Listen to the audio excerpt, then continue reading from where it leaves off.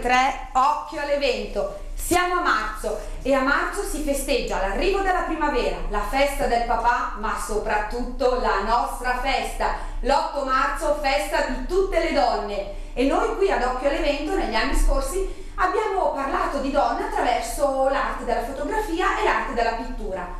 Quest'anno ho deciso che volevo omaggiare ancora tutte le nostre donne attraverso altre forme d'arte, ma lo facciamo tramite le storie di tre, di tre donne, di tre bellissime donne che sono, che sono qui con età differenti, ognuno accomunate proprio dalla grande passione per l'arte. Come vedremo sono arti diverse, ma loro riescono veramente con la dedizione, ma soprattutto con la passione che hanno a raggiungere tutti i loro obiettivi. E allora andiamo a conoscerle. Iniziamo con Letizia Merlo.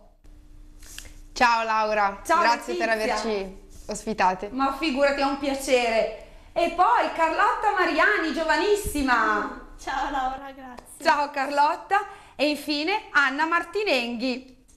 Ciao Laura, io sono all'età differente. No, noi due siamo giovanissime perché siamo coetanee, quindi allora no, vai tranquilla che poi guarda, una più bella dell'altra, poi con questa immagine di sfondo che è significativa, bella ma molto significativa, proprio è il simbolo della lotta alla- contro la violenza delle donne, però stavolta vogliamo parlare di qualcosa di bello, di storie belle, di storie dove le donne riescono con la loro tenacia a raggiungere tutti i loro obiettivi. Anna, iniziamo con te. Voglio che tu sia quella che rompe il ghiaccio, insomma, visto che devi dimostrarlo anche alle altre giovanissime ragazze. Abbiamo parlato d'arte e l'arte che, che ti riguarda è l'arte della poesia, l'arte della scrittura. Come è nata questa passione, Anna? Allora, ho avuto passione per le parole. Ho iniziato a, a scrivere prima di andare a leggere a scrivere prima della scuola, grazie a delle zie maestre, e questa cosa co- ha sempre corrisposto a um, un grande piacere. Collego la scrittura e la lettura al gioco, quindi mi, mi piace sempre. Bello. Ovviamente eh, per prima è venuto l'interesse per eh, la lettura perché le storie, i racconti, le favole ampliavano la fantasia e mm, davano insomma degli stimoli in più. E poi per anni la scrittura è stata una cosa molto personale, serviva per fare ordine, una specie di meditazione, di riflessione molto personale. Ci è voluto del tempo per arrivare alla pubblicazione, cioè a rendere pubblico ciò che senti e ciò che scrivi, che è un passaggio fondamentale. E quando c'è stato questo passaggio? Vero? Che come, come ti ha, perché da quello che ho capito era quasi forse una forma quasi terapeutica all'inizio scrivere. Poi quando c'è stato il passaggio? Quando hai capito che eri pronta? Eh, ci ci è voluto del tempo eh, e non è stato neanche merito mio. In realtà un mio amico ha mandato una mia poesia a un concorso di una casa editrice toscana. Questa poesia ha vinto il concorso e la premiazione consisteva nella pubblicazione di una raccolta. Da lì è cambiato il mio rapporto con la scrittura, è diventato pubblico, cioè proprio letteralmente è ehm, diventata una cosa condivisa.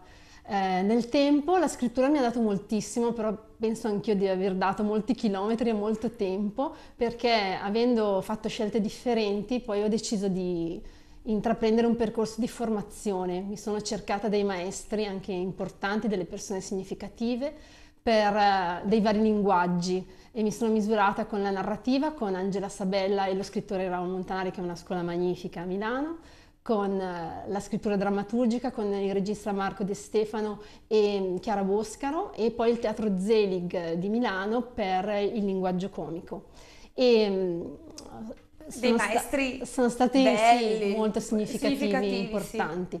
E poi eh, il rapporto con i lettori, perché queste piccole pubblicazioni con case editrici piccole, perché comunque la poesia e i racconti sono abbastanza di nicchia, hanno significato il comunicare in maniera non superficiale con le persone che credo che di questi tempi sia importantissimo. E poi, non ultimo, le collaborazioni che sono eh, davvero la ricchezza, l'arricchimento eh, letterario, ma soprattutto eh, a livello umano, con le scuole, sto facendo dei percorsi di scrittura creativa con i bambini nelle scuole primarie di Soncino e Ombriano in questi mesi. I bambini sono molto esigenti. Sono, eh, i bambini non, poi sono terribili. Non eh? ti fanno scappare nulla. No. E poi anche con eh, il teatro, con eh, il mondo della danza, insomma io se mi chiedono cerco di partecipare, di, di misurarmi con tutto. E poi fondamentale la collaborazione con la scrittrice Barbara Garlaschelli, che è una scrittrice importante, finalista al premio Strega, premio Scembanenco, finalista in questi giorni al premio Wondi, che da anni apre il suo spazio, il suo sito web www.sdiario.com a scrittori anche importanti e meno come la sottoscritta. Sdiario è un'esperienza di internet e dei social, eh, gli scrittori che eh, lavorano su Sdiario si definiscono sviaggiatori e pubblicano ogni giorno un racconto, una storia come se fosse davvero un eh, diario e mm, non paga di questa esperienza, la Barbara nel 2017 è riuscita tramite la mm, casa editrice Edizioni del Gattaccio a ottenere una collana che si chiama Sdiario, che ha pubblicato quattro titoli nel 2017, due sono eh, riedizioni di eh, romanzi importanti di Nicoletta Valorani, Le sorelle Sciacallo e di Barbara eh, Frammenti e due antologie di racconti, uno degli sviaggiatori che si chiama In viaggio e la mia raccolta di racconti che si intitola Sei troppo grande grande per capire certe cose. Quindi credo di aver ricevuto moltissimo dalla scrittura, ma anche di aver dato e di, di dare, perché la scrittura come i bambini è molto esigente, quindi non si accontenta del poco. Assolutamente. Tu pensa Anna, tanto che, che parlavi, io stavo proprio pensando come le cose quando si passa al destino non capitano per caso. Tu sei proprio partita con il bisogno di scrivere per te poi da un evento, come stavi dicendo, quasi casuale, apparentemente, sei arrivata ad affrontare, anzi a collaborare con persone veramente importanti per quanto riguarda la, la poesia. E, e, quindi pensa quanta strada hai fatto quanta tenacia tu ci hai messo, però i tuoi sogni li stai raggiungendo, li stai anche vivendo. Sì, è, è importante secondo me. Eh quando si ha passione, cercare di, di, veramente essere presenti in questa passione, cercare di eh, for, mh, mm, crearsi un percorso, di, di, misurarsi anche con quelle migliori di te che ci sono sempre, ovviamente, di fare esperienze differenti e di filtrarle attraverso la propria sensibilità. Questo, io sono partita, il mio uh, linguaggio uh, principale, quello a cui sono più affezionata, anche se non mi ritengo un poeta, è comunque la poesia. Mm, mi ritengo una persona in cerca di poesia e credo che la poesia sia prima di tutto un'esperienza universale delle nostre vite e poi eh, lo scrivere è appuntarsi questa, questa esperienza importante e eh, cercare di trasmetterla e condividerla con, con altri. Anna, quando tu, eh, proprio anche parlando di poesia, ti senti ispirata, cioè come, come nasce una poesia? Per quanto mi riguarda, e posso parlare solo per la mia esperienza, è una cosa molto immediata, infatti io eh, mi scrivo sulle mani, mi metto i messaggi sul telefono, quando, ho, eh, diciamo, le, quando arrivano le parole che non sembrano neanche pensate, eh, cerco di intervenire pochissimo, anzi tolgo, eh, cerco di lasciare l'essenza e quindi le inseguo, sono loro a venire da me, non sono io che le penso, non sono una di quelle che costruisce, ho magari ispirazione da quello che vedo, quello che provo, uno sguardo, eh, un'esperienza, un'immagine, che poi, come ti ho detto, prendo un appunto di quello che mi capita, di quello bello o di eh, significativo che mi succede. Bello. Allora, a proposito di, di, poesia, siamo l'8 marzo, io so che ci hai portato un regalo. Sì, allora, lo, ero indecisa. Ehm, fra uno scritto che celebra la bellezza delle donne, ma credo che le cronache di questi giorni che sono quotidiane, le violenze che si susseguono, che diventano numeri, statistiche e che sono, eh, sembrano non fermarsi mai, eh, fosse importante eh, sottolinearlo, che non dobbiamo abituarci a questi numeri, a queste statistiche, perché dietro ci sono nomi, ci sono vite, ci sono storie e dobbiamo reagire continuamente perché le cose cambino. Eh, la poesia, se vogliamo così definirla, si intitola Non si contano più. Non si contano più, occorrono dita di troppe mani, mani sui volti, mani addosso, mani che strappano il cuore dal petto. Biancaneve è il cacciatore, ma la neve non è più bianca e il cacciatore ha le dita insanguinate. Non si contano più, mani giunte che pregano di non farlo, mani sulla bocca, mani che frugano, stringono, soffocano. non si contano più. Storie che diventano cronaca, violenza che si fa abitudine, nomi che diventano numeri da contare sulle dita di quelle stesse mani che ci sono state date per accarezzare. Bellissima. La poesia è bellissima, veramente molto bella e toccante, perché purtroppo è vita, come dici te, è cronaca, ma noi siamo qui proprio per dire che dobbiamo reagire e dobbiamo vedere sempre la, la possibilità che noi non siamo soli, con la forza, con la passione che voi mettete per fare chi la danza, chi il canto, chi la poesia, noi abbiamo la forza anche di mettercela per cercare di uscire da queste storie e ne sono convinta perché non siamo sole, non siamo sole. Se avevo avuto anche il piacere e la fortuna di conoscere delle, delle realtà nel nostro territorio che aiutano proprio queste donne in difficoltà. Quindi veramente abbiate la forza di farcela, metteteci veramente la passione di cui noi donne siamo capaci, che, che qualcosina pian pianino si riesce a fare. Dai, noi ce la mettiamo tutta. Al, ti chiedo l'ultima cosa perché so che tra l'altro devi, devi andare via. Hai parlato te dell'ultimo, dell'ultimo tuo lavoro sì. e so che Sabato 10 marzo ci sarà una presentazione. Vuoi dare tu? Fai vedere innanzitutto sì. il libro, ricorda il titolo. Sei troppo grande per capire certe cose, edizione del Gattaccio di Milano. Eh, ci sarà sabato 10 alle ore 18 a Crema, in via Griffini 1 alla libreria La Storia di Simona Lunghi, che è una libreria che è aperta da poco e la Simona è una vera libraia di quelle che hanno passione per i libri, per quello che fanno.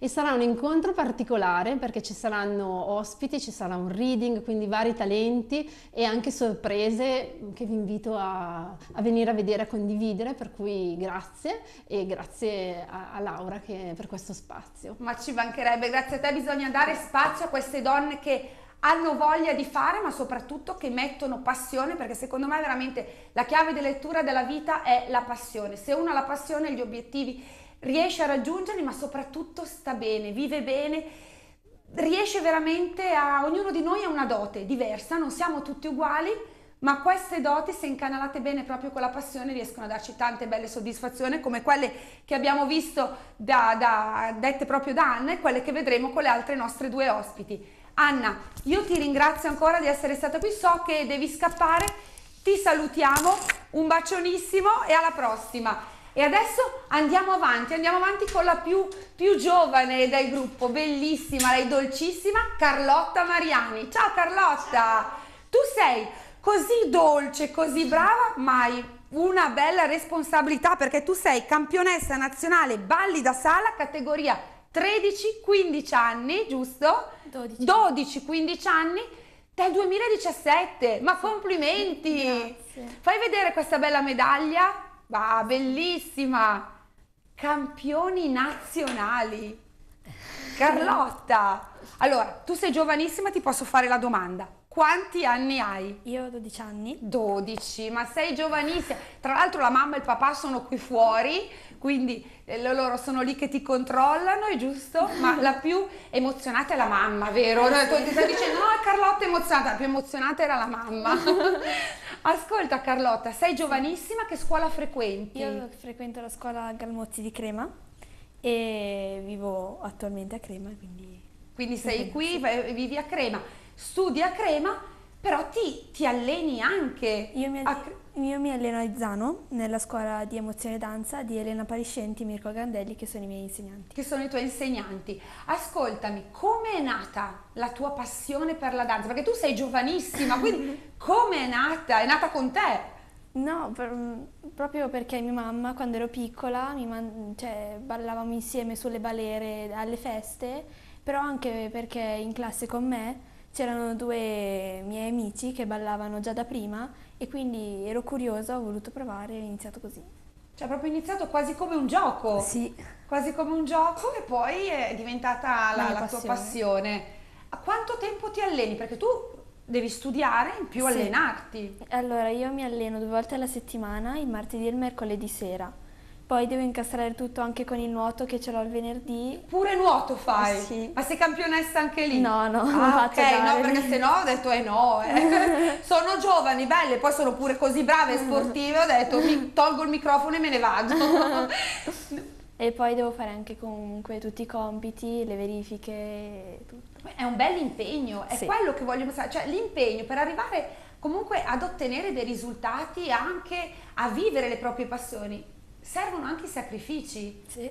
perché il sacrificio poi ti aiuta forse a apprezzare ancora di più le cose, giusto? Sì. Io- Allora raccontami, raccontami la prima volta. Allora, innanzitutto il ballo da sala, spiega bene com'è. Dopo vedremo il video, ma spiegacelo tu. Ok, il ballo da sala è un tipo di ballo che si può avere nella disciplina che faccio io. E sono tre balli, il valzer lento, il tango e il foxtrot.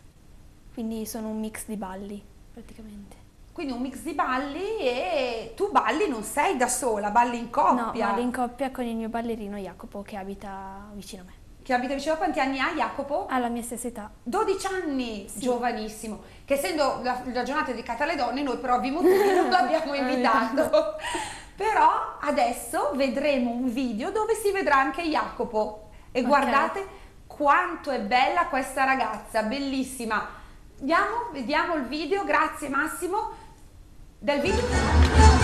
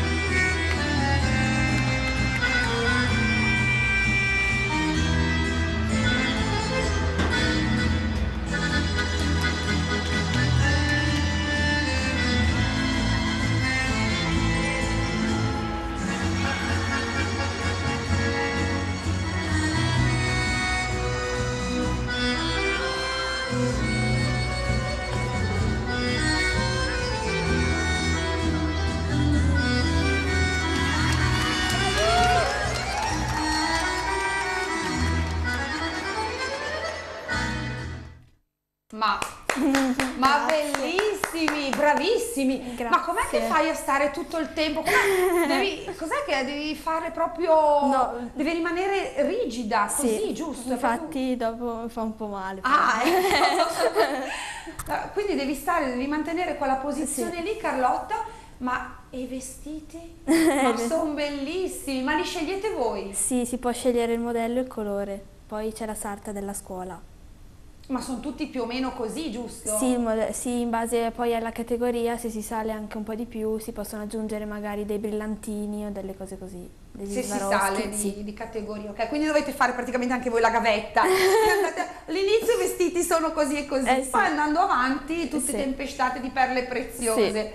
Bene, ma quel video che abbiamo visto Mhm. è un video di una giornata molto importante, ce lo vuoi dire tu? Era il 16 luglio del 2017 quando abbiamo vinto i campionati italiani. Ero molto emozionata quel giorno, infatti non ce lo aspettavamo di vincere perché era il primo anno che gareggiavamo, quindi eravamo super ansiosi. Raccontami da quella giornata lì, Carlotta, com'è andata? Cioè, Il giorno prima avevo fatto la pettinatura perché comunque la mattina noi ci avevamo, avevamo la gara presto, quindi la pettinatura l'abbiamo fatta il giorno prima. La sera prima non riuscivo a dormire perché ero molto in ansia, però poi quando sei dentro non pensi più a niente. ti rilassa talmente, poi ti piace così tanto. Sì. Quindi non è, non è un, un- è come un gioco. Sì. Bello, Poi- bello. Se pensi anche a tutti i giudici che ti guardano, Non fai più niente, No. non fai più niente, cioè proprio ti, ti rimani immobilizzato, non ti muovi più. Ma mh, per preparare una gara di questo tipo, che Sì. sono i campionati, eh, ricordiamolo, i campionati Sì. nazionali a Rimini, eh, che si sono Sì. svolti nel 2017, quante ore di allenamento hai- servono, insomma? Allora, noi l'anno scorso abbiamo aggiunto due allenamenti in più perché comunque ci dovevamo preparare bene e abbiamo aggiunto un allenamento come quello del martedì, l'abbiamo fatto il giovedì e poi abbiamo aggiunto anche una lezione privata, quindi quattro allenamenti alla settimana. E le tue amiche, voi siete, siete un gruppo, siete partiti un gruppo. Sì. E cosa dicevano i tuoi, cosa dicevate tra di voi? Eravate un po'... Ci- Non c'è rivalità però tra Eh? di voi? No, no, no, perché siamo tutti di categorie diverse. Chi fa un eh, tipo di ballo diverso oppure chi è più avanti, chi è più indietro, comunque sì. Cosa siamo- ti dà la danza, Carlotta? è tanta, tanta passione, tanta emozione, è la mia vita praticamente. Ma che bello, bellissimo, una ragazza che ha già le idee così chiare, così giovane. E allora adesso vediamo quel momento fatidico, il momento della premiazione. Fai vedere bene dopo la tua bella Ok. medaglia ancora. Adesso Massimo, grazie per mandare il video della premiazione.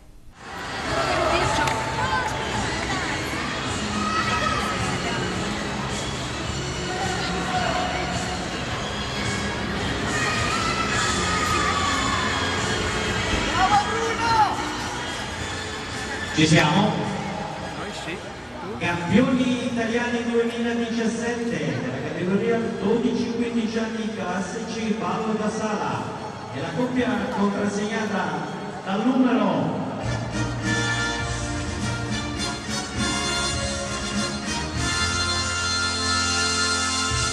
54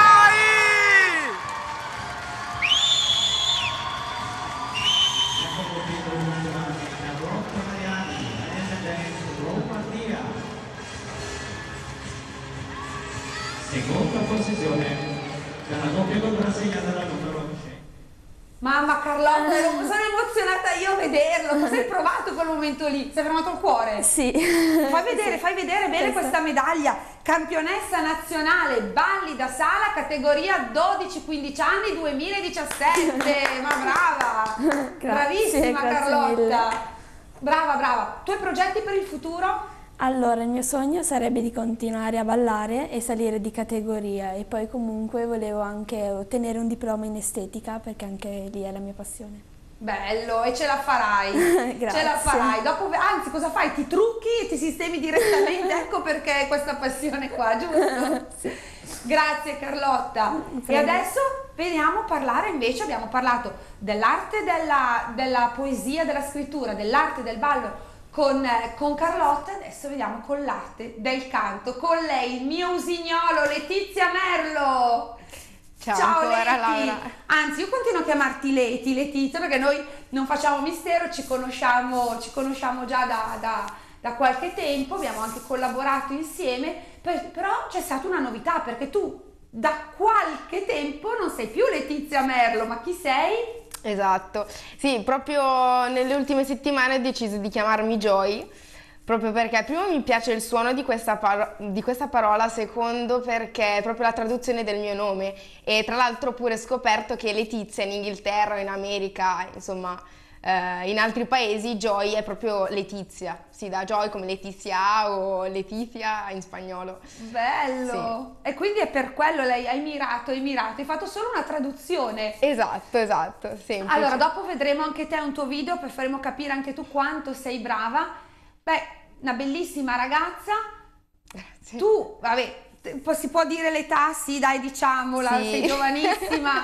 no, no, beh, quasi 21. Eh, quasi 21 anni, quindi eh, hai preso già delle decisioni, però facciamo un passettino alla volta. Quando è nata anche per te, faccio questa domanda, questa tua passione per quest'arte del canto, del bel canto? Certo, allora, ehm, innanzitutto, mh, senza accorgermene, me ne- mi è sempre piaciuto cantare anche in casa quando avevo 4 anni. Mh, probabilmente i miei genitori si sono resi conto di questa cosa. E poi un bel giorno io e mia mamma, non avevo neanche 13 anni, anzi mi ricordo ancora, era esattamente 9 anni fa, a marzo, io e mia mamma sta- stavamo passeggiando per Villa Santa, appunto il, il paesino dove, dove viviamo, e c'era un manifesto di fronte a questa casetta gialla che era la, la scuola di musica mh, del mio paese. C'era scritto ehm, per maggiori informazioni, corsi di canto, eccetera, eccetera. E mia mamma mi ha, mi ha posto questa domanda, eh, Leti vuoi iniziare, vuoi fare una prova? Io ero lì, mamma, Titubante. ansia, un po' titubante, ma ho detto proviamo, no? E allora niente, ho iniziato il venerdì, ogni venerdì, e pian piano ho iniziato a costruire questa cosa inizialmente come hobby, ma anno dopo anno è diventata la mia vita, la mia passione più grande e, e la mettevo se- la musica, il, il canto la mettevo sempre al primo posto, anche perché era proprio uno sfogo personale, uno sfogo. Tu pensa, adesso veramente queste storie che comunque si, si intrecciano perché eh, anche per Anna eh, la poesia era un momento di, di, sfogo, un momento di proprio anche aveva bisogno di eh, scrivere. Tu hai bisogno, avevi bisogno proprio di sfogarti cantando. Poi la, la stessa cosa che accomuna con Carlotta è la mamma. La mamma le ha inculcato esatto. la passione per la danza, la mamma ha inculcato a te la passione per il canto e quel cartello che casualmente, ma non è un caso, era lì pronto che ti aspettava. Bellissime queste, queste storie. Esatto, sì. Ma ascolta Letizia, adesso quanto tempo eh, impieghi? Perché mi sembra un po' che come la canzone Io vivo per lei, no? Cioè, quanto tempo impieghi per esercitarti? Perché ci vuole anche un esercizio come per Carlotta. Certo, perché alla fine le corde vocali sono un muscolo e quindi bisogna tenerle allenate ogni giorno. Infatti canto ogni giorno ma anche senza accorgermene. Comunque eh, ora sto finendo la, la mia accademia Lizard eh, di canto, mi mancano due esami, poi mm, prendo il diploma e, e vado una volta a settimana alternata, una è una lezione singola, l'altra polivocale, quindi diciamo coro in poche parole, e un'altra che è il sabato solitamente mh, mm, ci alleniamo proprio come band per poi andare a suonare in giro. È proprio divertente, divertente, vai lì e ti sfoghi. Poi ovvio ci sono anche le lezioni di teoria musicale, teoria e armonia perché ovviamente anche se la teoria si odia, Vabbè, però fa parte del gioco, il pacchetto, parte, devi... esatto, esatto. il pacchetto va preso completo. Ascolta Letizia, quindi tu fai parte di un gruppo?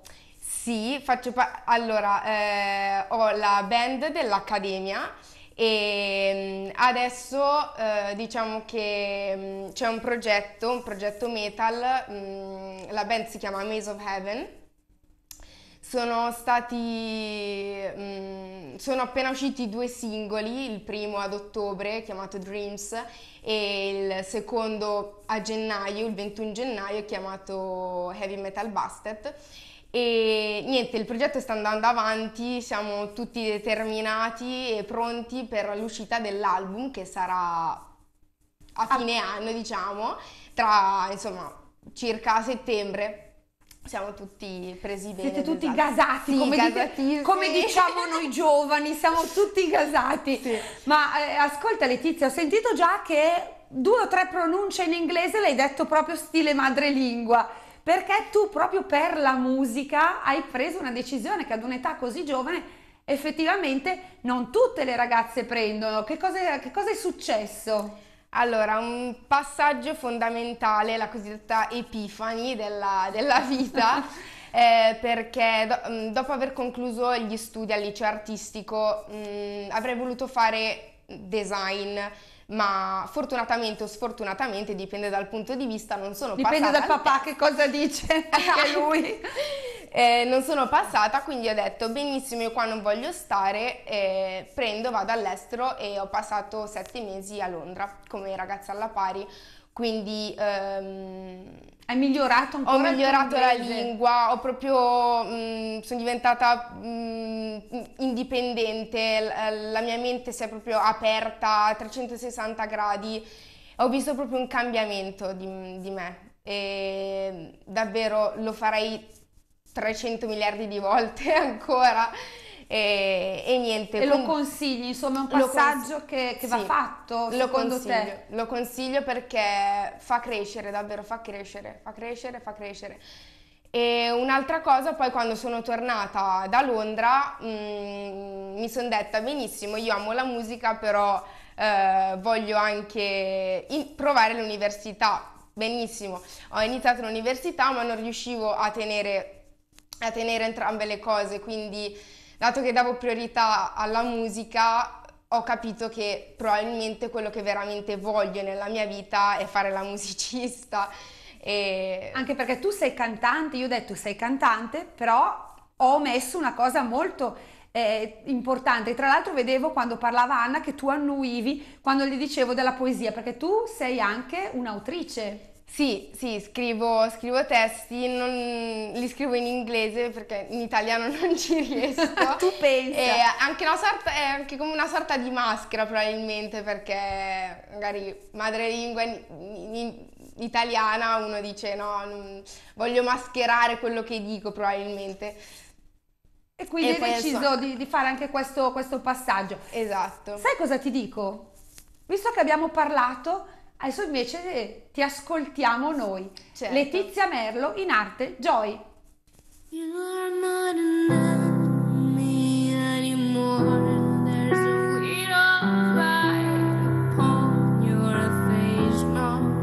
quando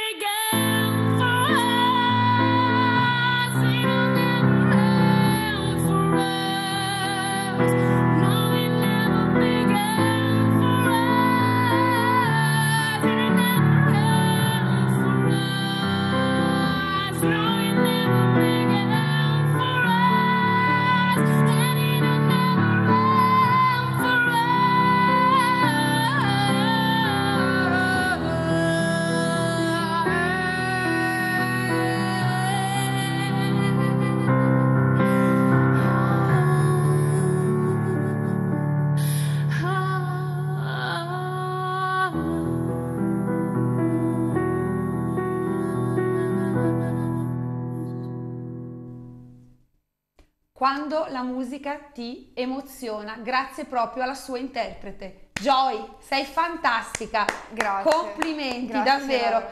Emozionante. Complimenti davvero. Sei una cantante, una musicista a tutto tondo. Bravissima. L'ho detto in tempi non sospetti, lo ridico, secondo me la, se- ne sentiremo parlare, ne sentiremo parlare. Ascoltami, a noi emozioni, a te invece la musica cosa ti dà? Quando canti che cosa ti dà? Tutto, nel senso che eh, è uno sfogo, sen- sono me stessa, mm, sono su un palco, sto, sto suonando, sto cantando. Ehm, trasmetto quello che provo in quel momento, quindi mm, io magari non riesco a trasmettere con parole o a gesti o con certi modi di fare, ma ti canto un qualcosa e capisci subito. Bello. È quello. Bellissimo. Come ho chiesto a, a Carlotta, cosa farai da grande? Eh, il mio sogno è trasformare questa passione in professione, che è quello che sto cercando di fare da da qualche mese. Noi te lo auguriamo davvero, lo auguriamo a te, Joy, lo auguriamo a Carlotta. Grazie. Perché siete veramente, io sono contentissima di aver scelto voi tre proprio a parlare delle vostre storie, perché sono veramente un esempio bello, un esempio vero di come la passione fa fare tante tante cose belle e come la tenacia non è solo la passione, perché voi ci mettete l'impegno, voi impegnate il vostro tempo per raggiungere il, i vostri sogni e questa è la chiave forse proprio di lettura della vita. Ci vuole un po' di sacrificio, però bisogna inseguirli veramente i, i sogni perché ne vale la pena. Io sono contentissima di avervi avuto e poi devo fare i complimenti a, a, sia naturalmente a, a Letizia sia ad Anna, però sono già più grandicelle, ma io il complimento lo faccio a Carlotta, 12 anni, sei riuscita, era agitatissima, invece una disinvoltura di una vera professionista. Grazie mille. Grazie, ragazze, grazie ancora a Letizia Merlo in arte Joy. Grazie, grazie a te, grazie a voi, grazie a tutti e grazie di questa opportunità davvero. È stata una bellissima esperienza. Per noi è un onore parlare di storie di giovani, giovani ragazzi che si parla sempre male di sti giovani, ma guardate che cosa abbiamo qui. Sono giovani, altro che parlare male, siete eccezionali. Grazie mille. E grazie alla, alla bravissima e bellissima Carlotta Mariani per la danza. Gra- ringraziamo ancora che è dovuta andare via Anna Martinendi per l'arte della poesia e della scrittura. E sapete cosa vi dico, ragazze? Dobbiamo farlo a tutte le altre. Vi diciamo auguri, buona festa delle donne. Mi raccomando, grazie ancora. Noi ci rivediamo settimana prossima e sempre occhio al prossimo evento. Ciao! Viva la donna! Ciao! Ciao! Ciao!